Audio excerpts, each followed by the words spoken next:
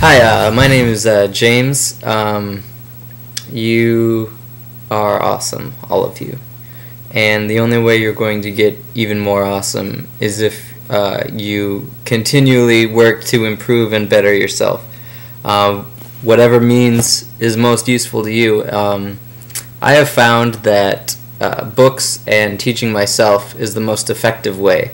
Because um, a teacher, you know, the teacher gives you a book, gives you the resources um, and then guides you and is sort of the discipline behind keeping you you know on track and on task and stuff. If you if you you know if you really want to play the guitar you don't need a teacher you just need the resources and the and the discipline and the and the desire to want to play. And uh, this this series of courses and exercises and books and mp3s is amazing.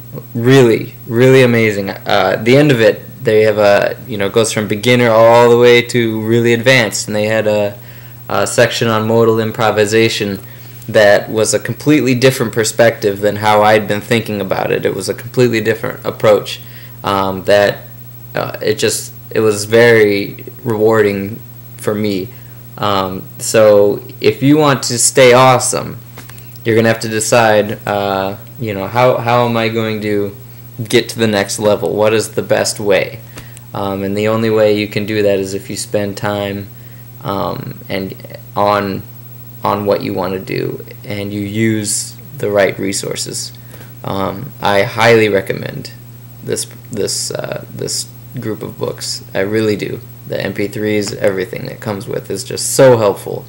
Um, it's it's it's remarkable. So check it out. It's worth it honest, honest. Do it, do it. You'll like it.